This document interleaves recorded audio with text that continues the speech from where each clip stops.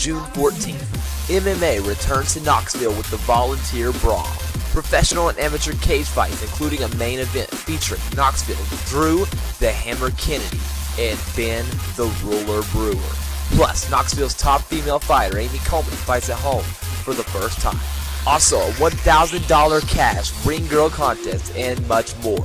From the World's Fair Amphitheater in Knoxville, Tennessee, the Volunteer Brawl, June 14th tickets on sale.